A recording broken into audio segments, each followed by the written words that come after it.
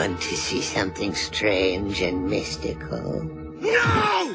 Get out of here with that watch! Lay off the poor beavers, will you? Jeez! You're a creep! Go away! We're having a good time until you start up, jeepers! Uh, go have some coffee with cream or something! Because I'll tell you something! This is a happy place!